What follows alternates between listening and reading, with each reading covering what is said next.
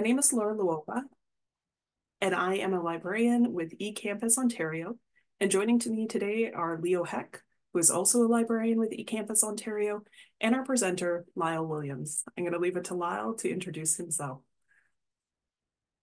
Before we begin today's session, I would like to share our land acknowledgement. The offices of eCampus Ontario are located in downtown Toronto and are within the traditional territories of many nations, including the Mississaugas of the Credit, the Anishinaabe, the Chippewa, the Haudenosaunee, and the Wendat peoples. And today I am joining you from Sudbury, which is on the traditional lands of the Anishinaabe people of Turtle Island, the Anishinaabeg and Anishinaabeg, and I will recognize the contributions of the Wahnapitae First Nation and the Métis Nation of Ontario. Please feel free to share your own land acknowledgement in the chat, and Leo has also shared some links to our land acknowledgements. And now I'm going to hand over the uh, presentation to Lyle. Thank you, Laura. Give me a moment to share my screen. Feel free to talk amongst yourselves while I try to figure this out. Apologies. There we go. And share the sound. Okay. Laura, could I get a thumbs up that you can see and it is in full screen? That good? Excellent. Beautiful. Thank you. Uh, good, good afternoon, not good morning. Good afternoon, everyone. As mentioned, my name is Lyle Williams, and I'm an adaptive technology specialist. And it's a pleasure to be here this afternoon. Um, I'll, I'll describe myself. I am a middle-aged man wearing a black button-up shirt. Um, I have black hair. I have a beard. Uh, and I'm wearing bilateral hearing aids. I have a hearing-based disability, so I'm going to beg you to forgive me if I miss anything you say when you mic on, and I'll beg your forgiveness as well if I ask you to repeat anything you've said. I'll start by sharing my thank yous, since in many cases, thank yous are left and in many cases cut off at the end. So I'll thank Laura and the team for the support in putting together this webinar.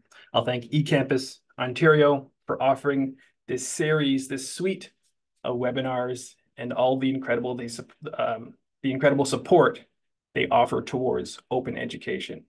And then, of course, I'll thank you. I'll thank you for attending this session as you aim to expand your accessibility knowledge. And I recognize that we are all at a different place in our learning journey, particularly with alt text. Um, but like anything, the more you know, the more you realize there's more to know.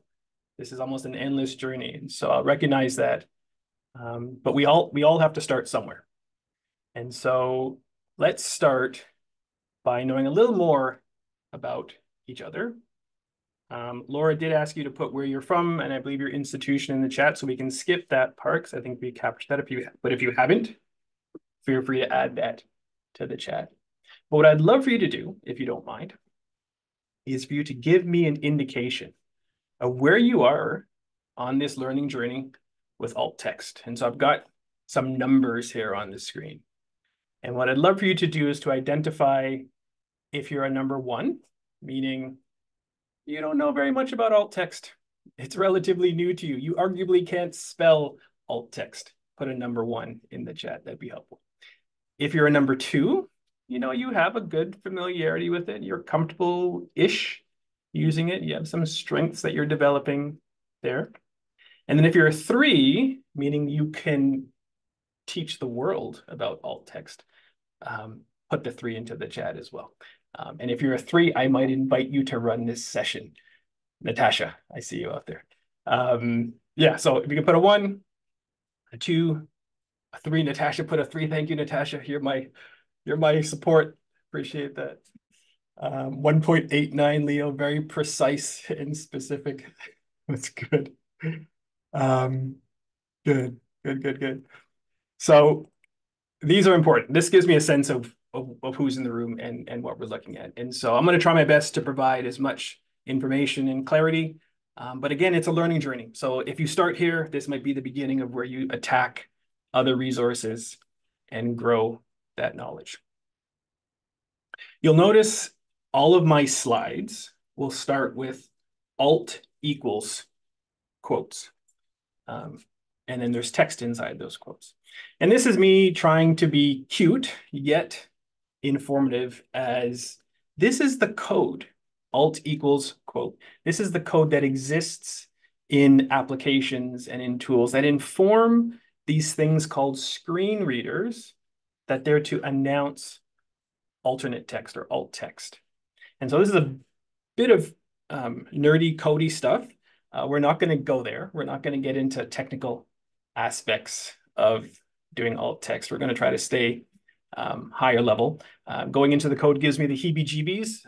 Maybe that's the same for other people as well, and we don't want to mess with that. So everything we're going to be doing is going to be identifying alt text and entering it into graphical user interfaces. So boxes, text boxes, things like that.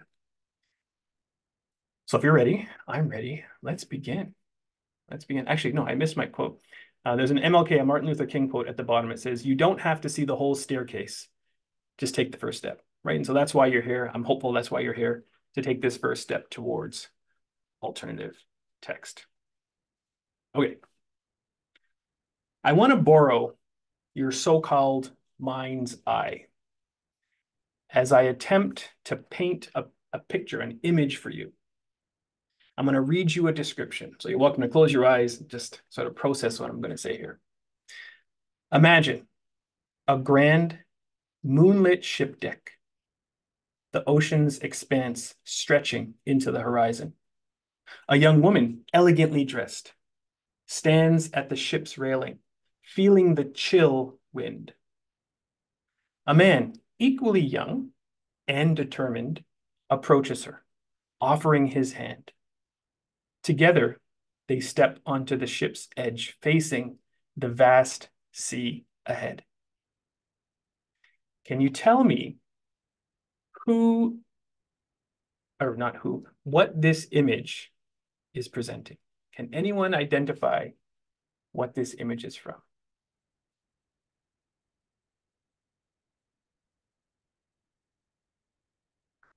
Yes, we have some people that are keen.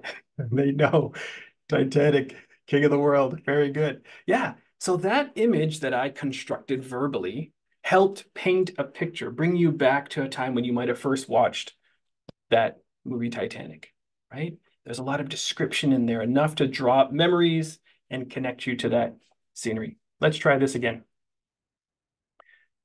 Imagine a bustling Italian restaurant its cozy tables filled with patrons, engaging in an evening.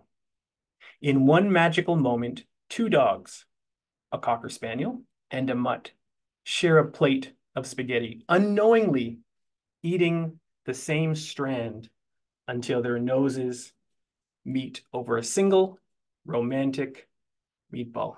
Shazia on the ball instantly lays the trap people are good here. People are really good. Again, another iconic scene that captures a simple expression of love and connection universally recognized.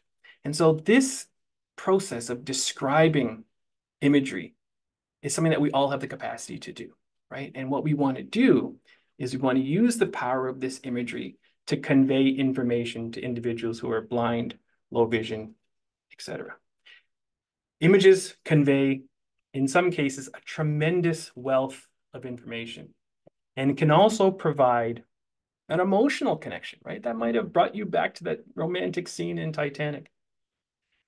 Images can be still or static images, like what I have on the screen there, or they can be dynamic, like GIFs or GIFs, however you say them, I don't know, or interactive imagery, like a hotspot in H5P content, right? We have lots of flexibility in how we place images. Extending beyond that, images can be informational, like a chart or a graph. They can be decorative, like logos or iconography, or they can be instructional, like screenshots or application windows. So we can use them in a multi in, in multiple ways. How the image is being used plays to how important it is in context. So we look at the image on a slide and we can determine a lot about what the image is conveying. And so you can see on my screen here, I have an image of what looks like an EKG with a stethoscope, right? This could tell a lot of information depending on how it's placed into a document. I haven't done that. In this case, I'm just using it as an example, but a content author like yourself, a developer of content, will use images to express additional information to a reader.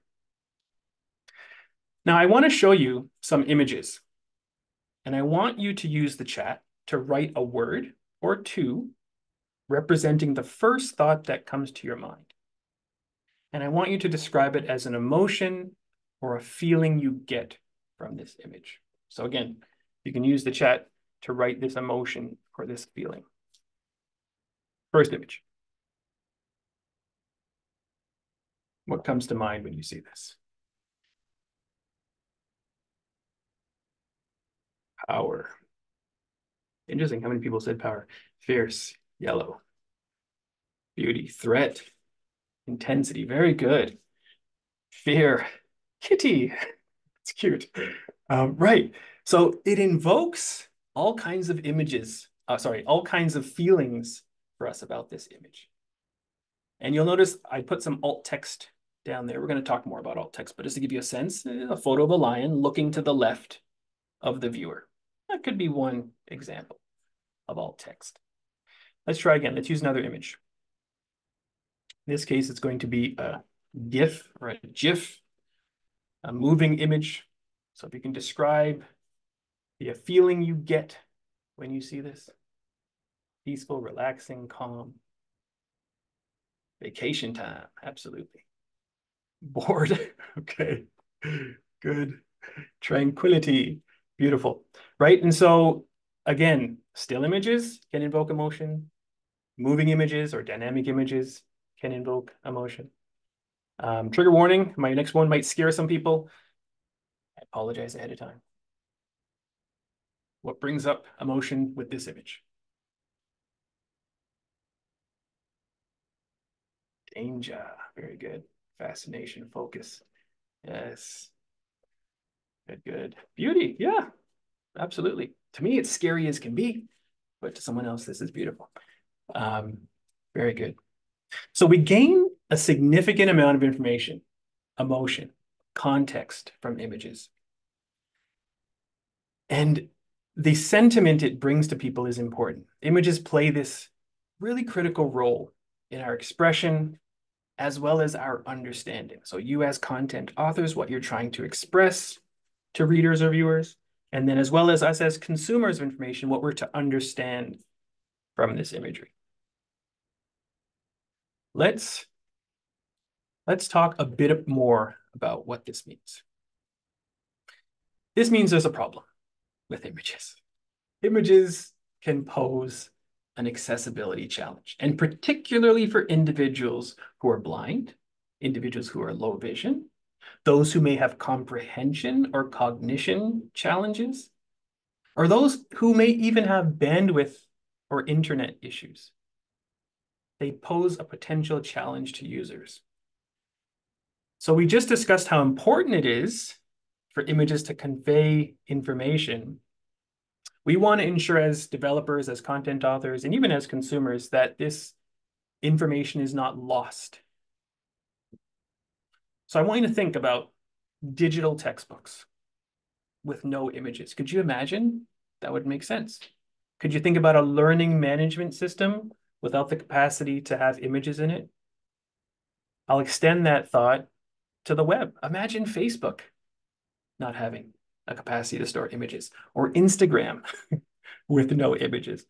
All of these images are critical to our understanding or connecting with the content and they should not be concealed from any readers. I'm sure you're going to agree that people with disabilities must have an equivalent experience accessing imagery. And that's why alt text is so important. It represents that bridge to accessible image communication. Let's define it. Let's define alt text. So alt text is a contraction of alternative text, otherwise known as alt tags or alt descriptions. Alt text is written content that appears in place of an image on digital content. Alt text helps these things called screen readers describe images to readers who may be blind or low vision or those other disabilities I mentioned. Said another way, alt text is a short written description of an image, which makes sense of that image when it cannot be viewed. On this slide, you'll see some examples of screen readers. And for those who don't know, a screen reader is a technology that uses speech synthesizers to read any content on a web page or a document. Among the more popular ones are JAWS, J-A-W-S, or NVDA. There's another one called ZoomText, which is a magnifier. It magnifies the screen and it does screen reading. But built into most of our everyday items that we use have free screen readers. For example, our Windows users, you have a tool called Narrator. Our Mac, Apple users, you have uh, a tool called VoiceOver. And our Android users, you have something called TalkBack. All of these are freely available, and I encourage you to make a note to yourself to check these out on your devices. And I'll even encourage you to go one step further and download a copy of NVDA if you're a Windows user. It's a free, powerful screen reader that you can use to test your own content. Speaking of screen readers, let's take a look at one in action. So we're going to listen to this screen reader. This is a sample of alt text being read on a web page. So this is a CBC article. Um, and what we're going to do is we're going to have it read the paragraph above the image. It's then going to read the alt text of that image, and then it's going to read the caption below the image. So you're going to hear all three bits. Now, you're going to be a little frustrated, I apologize, because it's playing at a speed that many people with low vision or who are blind set their screen reader to a really fast pace because they can get through content. Not everyone, but many users will get through content much quicker. And so they can increase the speed. They've trained their brain to read much faster than most of us. And so here's an example of a screen reader in action. In 1953 and 1955, the middle of the Cold War, the Canadian government forcibly relocated more than 90 Inuit roughly 2,000 kilometers from their homes in northern Quebec to show that the high Arctic was occupied. They were brought to two virtually uninhabitable places, Resolute Bay and Grise Fjord, both in Nunavut. As details graphic a black and white photo of a large open boat approaching a mountainous coast. The water is covered in ice. Caption archival footage from telling our story. Tara Inuit. Okay, fast, real fast. Um, I want you to try to listen to it one more time and see if you can pick up when it gets to the alt text. Try to see if you can get to the alt text part. Here it goes. In 1953 and 1955, the middle of the Cold War, the Canadian government forcibly relocated more than 90 Inuit roughly 2,000 kilometers from their homes in northern Quebec to show that the high Arctic was occupied. They were brought to two virtually uninhabitable places, Resolute Bay and Grise Fjord, both in Nunavut. Has details graphic a black and white photo of a large open boat approaching a mountainous coast. The water is covered in ice. Caption archival footage from telling our story. Tara Inuit. Good. So you may not have heard it because it was fast. But the screen reader stated graphic. It told the user it's about to announce the alt text for a graphic. And then it read a black and white photo of a large open boat approaching a mountainous coast. The water is covered in ice. Within the context of this article, it goes on to talk about how an indigenous group of people were relocated by the Canadian government to an uninhabitable place 2,000 kilometers north of where they originally were living in order for the government to establish sovereignty in the Arctic. So there's a lot more context behind just what that image was showing. I'm gonna see if I can go back, make it so the image is a little clearer. Right, so there's the image that was being shown. So this is not just a photo of people on an expedition but it's depict it's depicting people being relocated. And the context of this article helps paint a better picture of what's actually happening. I would argue the alt text was wrong.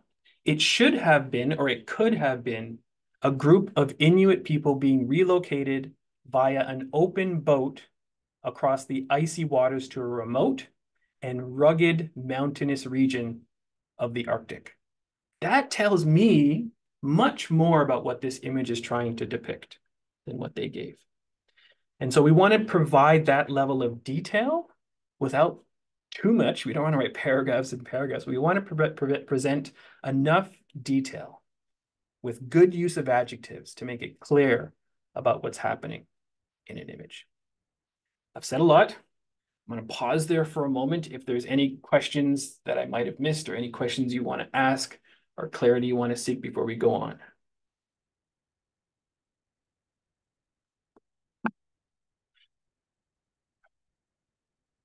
And if not, that's fine too. But I just want to give you a chance. Are some screen readers better than others? I am not a person with vision loss, so I wouldn't be the best to judge. In my work with students, I find the majority of students that I work with use JAWS. That's a, an industry tool that's used uh, around the world. It's a very popular, commonly used tool, but it comes at a cost, a significant cost. JAWS can cost over $1,000 up to $2,000. Whereas uh, the built-in ones that are on our devices are okay. If you're stuck, you need to get by, you can use it. It's not the best, but they're okay. Um, NVDA, really good alternative, a really good alternative. Um, so yes, there is a little bit of a ranking among them. Okay, excellent. If I miss anything, I'm going to try to get back to that chat and catch up. So what we want to do now is I want to I want to practice a little bit. Now that we have a definition of what alt text is, I want to solidify it with some examples. And I recognize so far we only have the definition. We don't have the rules. The rules will come. I'll get to the rules in a bit, but I just want to get a sense of your capacity to write alt text. So there's no pressure. I give out free points when I do activities like this, so you can earn some points. They're great points. So I want you to use the chat to write the alt text for this image.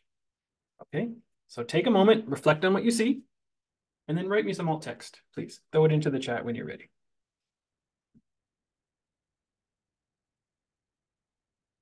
A red apple, a shiny red apple set against a white background. Thank you, Marissa.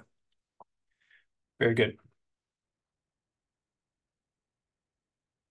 A red delicious apple on a white background. Shiny red apple. Alt equals, look at that, Sophia. A red apple on a white background. Very good. Or sorry, Sophie, not Sophia. Good. Right. So there's no wrong in what you've done. There's no wrong in what you've done. You've described what you see. An apple. You could have done that. As simple as that. An apple, um, uh, um, a red apple. Give it a descriptor a red apple with a brown stem, a red apple on a white background. These are all options that you could have put up. Do the words red and white mean something to people who have never seen colors? It's a great question. Um, if there is anyone who happens to be partially sighted or blind, if you can share your perspective, I'd love to hear that. Uh, I would argue that you know you want to you want to define and dis and and create alt text that's consumable by as many people as possible. So for someone who has no light perception and has never seen a color before, right through to someone who has partial sightedness and can still discern. And so the red will give some clarity to what they're looking at. Let's now go from this practice number one to practice number two. Let's try another version of this apple. So you can see that apple has changed. Something is different about this. So I'll encourage you again to use the chat and to write, what do you see? How would you describe this image? Go ahead.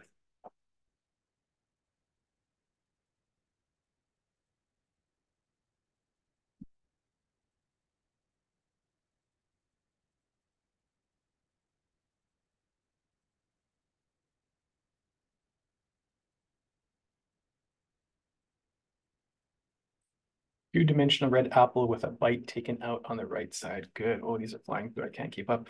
Um, apple appears flat. It has a green leaf above separated by good. Real life interpretation of the Apple company logo. Interesting, Kyle. Um, Sophie with the alt, yes. Apple logo depicted using a realistic apple. Interesting. You're seeing it. A drawing a red apple. Very good. Right. So you're you're describing a bite taken out of an apple would be a good descriptor of what's happening here. But context plays an important role. On its own, you can only describe what you see, a bite taken out of an apple. But if this if this image is placed within the context of it representing the percentage of students who go hungry in schools, meaning that little bite represents maybe 10% of that population of students goes hungry each day, it has an entirely different meaning. The context has changed. And so it's really important that when we're defining our alt text, we're considering how it's placed among the other text. What does it mean to the reader? And if it has meaning, we need to provide descriptive alt text. If it doesn't have meaning, if it's just decorative, artistic, then it does not need to have that much specificity to it. Let's go on to a third image.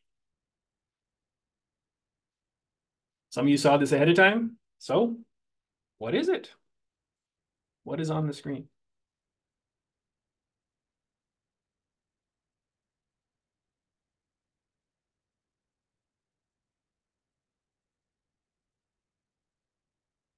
What do you see?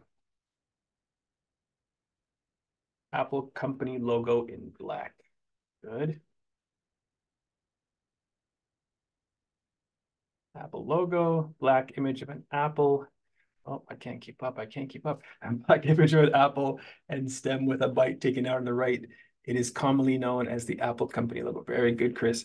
Yeah, so there's a lot of description in Chris's definition. So in this case, we have a logo, correct? A decorative element that represents the Apple Corporation. This no longer has to do with an organic apple, right? This is all to do with a company. So how this image is used in the article will dictate how you write the alt text. If it's just a logo that's being placed and not giving any context or adding any context or value, it's a decorative piece. But if it's part of an article talking about Apple versus Android or versus Microsoft or anything else, then you're going to need to define it within that context. Good, you're getting it. Excellent. So let's talk about writing alt text. How do you do it? When it comes to writing alt text, we want to do a couple things. We want to be as descriptive as we can while equally being concise. That might be a contradiction of terms for some of us. And it's a challenge, I'll be honest. It's not easy initially to start writing alt text. It's a it's an art, as this presentation is uh, labeled. We want to find that that appropriate amount of description of an image while equally being concise.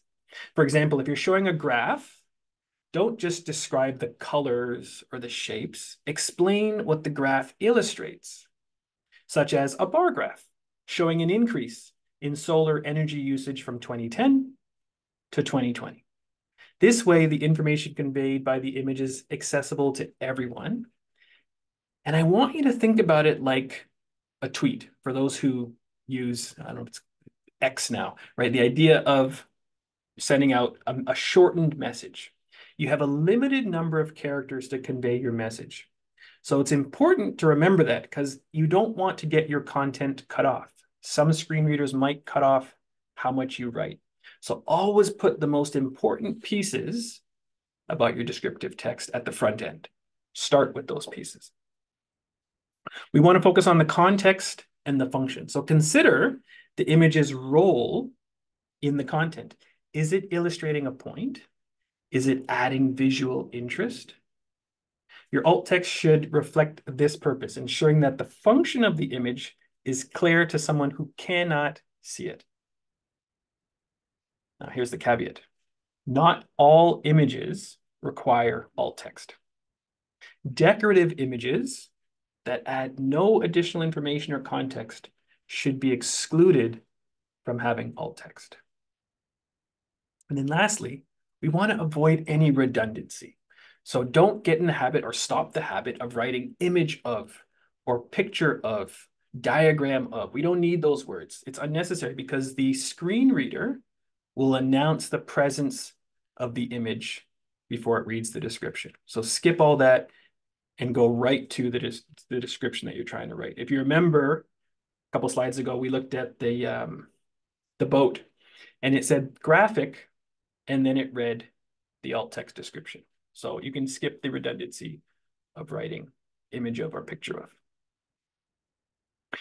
So we're getting this idea that we have to be describing our images, especially as they relate to the context that we're living in.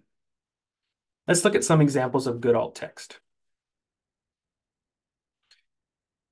So on the screen, we have an image.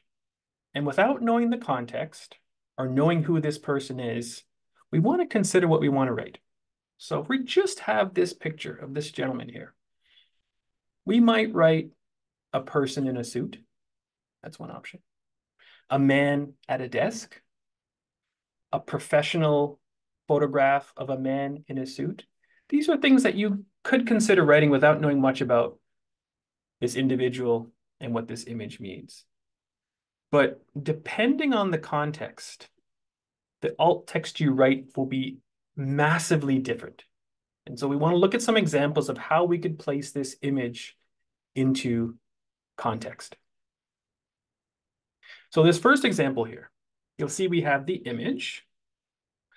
We have no caption below the image, but there is a block of text with a description of who this person is. And this is Lincoln Alexander, a Canadian lawyer and politician who became the first Black Canadian to be a member of Parliament in the House of Commons, a federal cabinet minister, a chair of the Workers' Compensation Board of Ontario, and the 24th Lieutenant Governor of Ontario, a distinguished individual here. This provides much of the needed context for this image.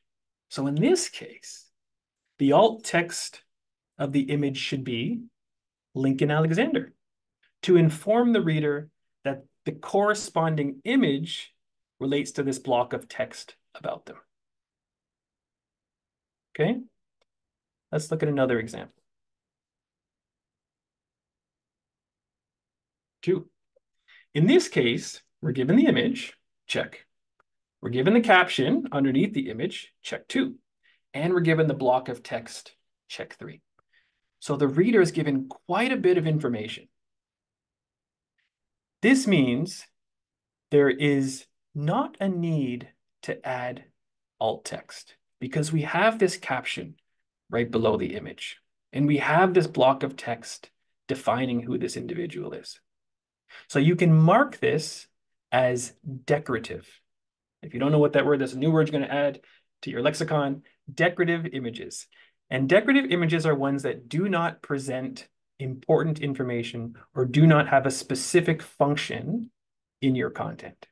We have enough bits of information here that we don't need to define that with alt text. Let's look at a third example.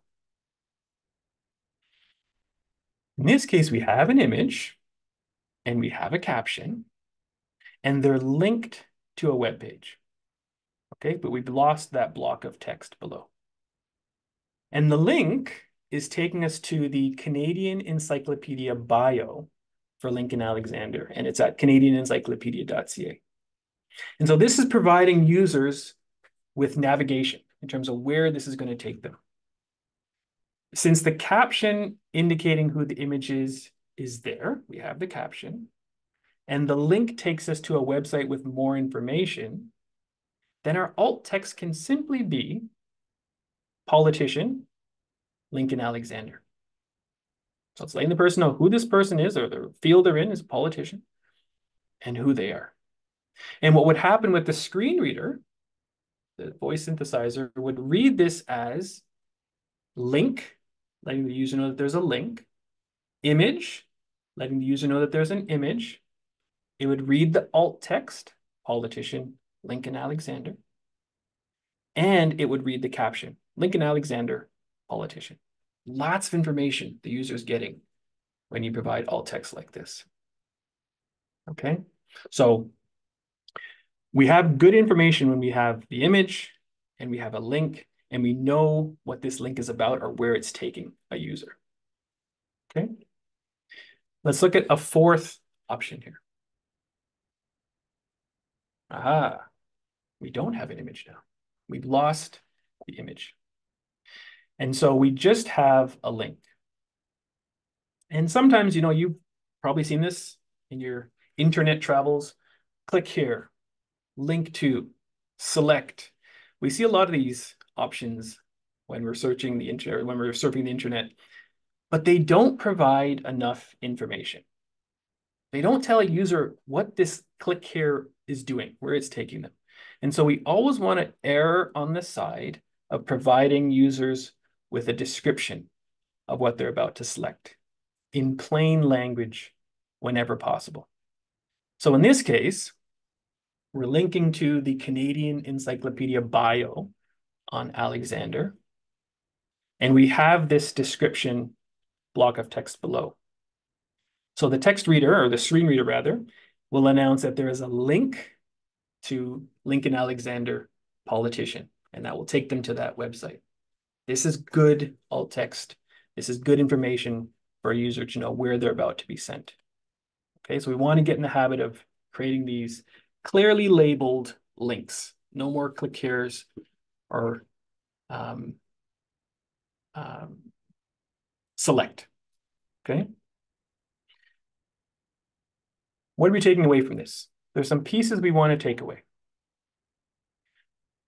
I want you to get in the habit from now on, anytime you embed an image in something you're creating, that you will now make a promise to yourself to always add alt text or mark it as decorative.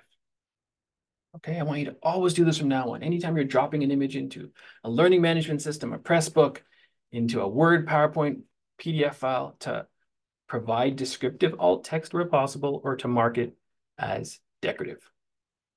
And we want to describe what we see, describe what's happening. We want to describe for dynamic, static, active, all kinds of imagery. And we want to describe what's happening in the scene. So we have an image here. We have a, a GIF, a GIF, whatever it's called, of Lucille Ball. And so this alt text should be something of the effect of Lucille Ball hurriedly stuffing chocolates coming off a conveyor belt down her uniform. That could be one example of alt text you can use. It's giving a lot of information about who this person is, what they're doing, and the actions that they're taking. Good alt text is there. Okay. Let's talk about some don'ts, some do's and some don'ts. We do want to describe, we've hit, we've hit this quite a few times. We want to describe what we're seeing in an image and the interactions that are occurring in that image. But we're not going to use the old graphic of or image of. We're not going to write too much information that's too verbose. And we're going to write um, alt text when it's necessary and mark images as decorative when it's not. And so if you look at this slide here, we have a, a GIF, GIF of Bruce Lee. This doesn't have much relationship to the slide. I would be inclined to mark this as decorative because it's not giving a lot of information relative to what's happening on the slide here. Okay, so you want to consider this when you're making your presentations. Am I, am I adding more information? I'm going to describe it. If I'm not, it's going to be it's going to be left as a decorative piece. So we want to test what we know. I've left you some Easter eggs throughout this presentation of bad alt text. Bad alt text. Now, I want to apply what we've been exploring here to identify what's bad or what's wrong about these bits of alt text that have been written. So let's take a look at this. I think this is a moving image. Can I play it? Yes, I can. Okay, so in this image, I have man taking a photo with camera shutter. Oh, I can't read it. Sorry, my Zoom screen is cutting it off. Man taking a photo with camera shutter pointed directly at the viewer with both hands holding the camera and the background obscured. So in the chat, using the words good or bad, is that good alt text or is that bad alt text? Bad. Thank you, Danielle. Anyone else?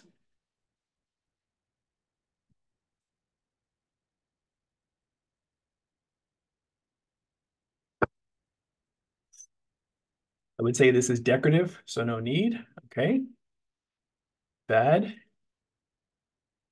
It's describing the trees rather than the forest. Too wordy. Yeah.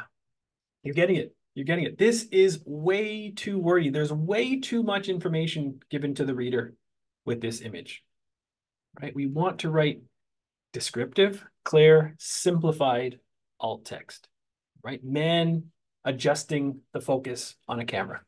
Simple, right? Describes what's happening in this image. Let's look at another image. Back to our lion. What would you say? Is this good alt text or bad? This says a photo. Sorry, I got to zoom in here. A photo of a lion looking to the left of the viewer. Is that good alt text or bad alt text?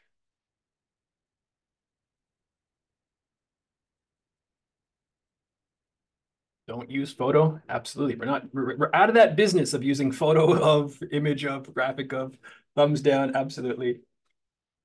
Good. Remove the photo. Yeah. Yeah. Um, you could have a description like that. You could call it a lion because that's what it is, right? We don't need to know about the mane and the direction of the, the lines looking. All these other bits of information might be superfluous. It might be unnecessary. And so we can focus stri strictly on the fact that, yes, it's just a line. Let's try this next one. This was our waves. What do we have? We have a GIF of water. Okay, so that's a giveaway. Um, not specific enough. Bad, yes. Water. Yeah. Uh, there's much more happening in this dynamic image than just saying water, right? We potentially have waves lapping the shore of a beach. That tells me a lot more about what's happening in this image. Yeah, waves on a beach, very good. So now that we've gotten a better handle on writing this alt text, where do we put it? where do we enter this alt text? Let's take a look at that. So for our PowerPoint users in the world, what you're going to do is you're going to drop your image into your PowerPoint, step one. You're then going to right click on your image and select alt text. That's this one in the middle here. Hopefully you can see my mouse. And then on the right side, this widget or this panel or pane will pop up. And Microsoft's done a really good job. They've really advanced accessibility um, with their products these past few years and, and really been honing in on developing good tools that are part of the platform. And so you can see they've gone into some detail here. They've said, how would you describe this object? And its context to someone who is blind or low vision. The subject in detail, the setting, the actions or interactions, other relevant information. And they even tell you write one or two sentences as your alt text. They give you a text box to enter it. And then they've even given you the option at the bottom here to mark it as decorative, which is really helpful. They've also added generative AI. The ability for this product to assess the image that you put in there and identify what it determines is in that image. Now, remember, this is a computer and it's not going to do as good of a job as a human. So check anytime you use that generate alt text for me, check what it's written and adjust it right? Make it more clear, more descriptive, because it's probably going to make some mistakes when it does that. So don't rely on it. That's my message. Don't rely on it as a, as a solution to alt text. And so you can see this is PowerPoint. Let's look at Word. In Microsoft Word, similar but different. We have uh, dropped an image in to the Word doc, step one. When you drop images into Word, you'll see the picture menu item appear on the ribbon. You'll select that. And then you'll see alt text will appear on the right side of the ribbon. And what they've given you is they've given you two abilities or two ways rather to enter your alt text. You can add a short description for the title, and then you can add a longer description for what's happening. And so we have cow in pasture as our short title, and then a cow in the foreground of a pasture while other cows are in the background as our longer description. So it gives you lots of flexibility in terms of how you write your alt text in Word. Let's look at Adobe. A lot of our institutions have institutional licenses for Adobe Acrobat, the tool that allows us to create PDF files. In Adobe, we have this tool called the accessibility, um, an accessibility tool, right? It's this little purple icon here that runs down the side of Adobe. When you click on it, you'll then be given the option to set alternate text. You'll select that. And when you click on select, uh, set alternate text, this window will appear. And this allows for you to navigate very quickly and easily through all the images that are in your PDF file, right? And so you can type the alt text, you can mark it as decorative, and you use the back and forward buttons to navigate through all images in that PDF. So really easy tool that they've incorporated to identify your alt text for images. Learning management systems. So at my institution, we use Brightspace or Desire to Learn D2L. Um, eCampus Ontario, I believe they also have Brightspace. Whenever you drop an image into Brightspace, it will pop up this dialog, provide alternative text. And you have the ability again to type out your alt text or to mark it as decorative. So lots of really simple and direct and clear ways for us to use the tools we use every day to mark items with alt text. The last one I want to talk about is Pressbooks. I think a lot of us are using these more and more in our teaching and are developing them. And so when you drop an image into a Pressbook, there's a little pencil right up here that appears. That's the edit button. If you click on that, that will pop up this dialog, allowing you to set the alternative text. And what they say is leave it empty if you're using it as a decorative image. So lots of different ways we can put alt text into the content that we use. All right. Um, let's look at some examples. I have three elements on this slide. I have a bunch of links or formatting of how you can write a URL. I have a logo and I have a banner or a marketing promotional graphic that's on the screen. For the um, formatting of the URL, I've given you four options.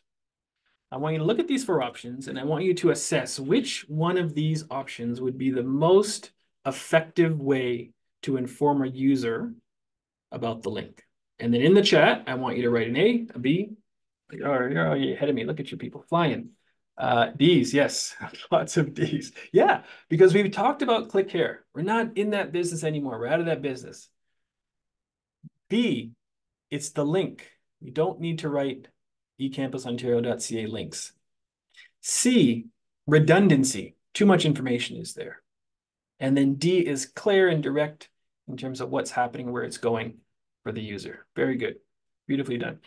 Um, the next one is the logo eCampus Ontario. What would we do with this? What alt text would we, could we, should we write for this image? You can put that into the chat.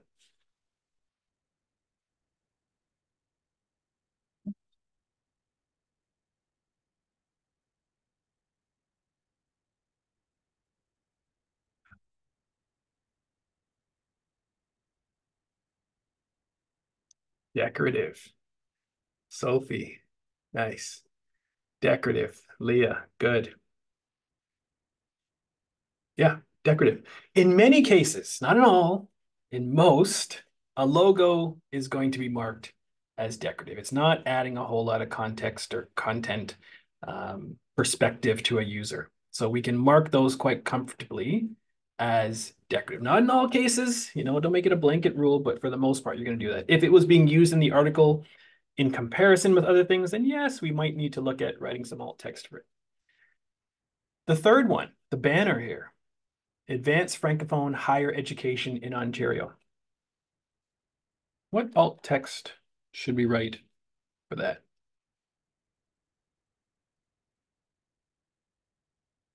What do you think?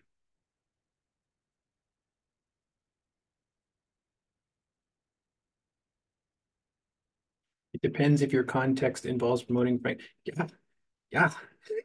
That's that's exactly right. It depends. This is a trick question. It depends on where that graphic is living. What's happening with that graphic? It's very situation specific. And so don't just think that you can apply a rule always and it's going to work for everything. You have to consider how you're developing your content around any graphic. Very good. It absolutely depends. Uh, ooh, we're running out of time. Okay. Um, I had, if you if if you if we have time for this, I had an opportunity for us to practice. And so I'd love if we can at least get to one of these items in this practice. And so what I've done is I've built a Padlet and I'm going to put it into the chat in a second.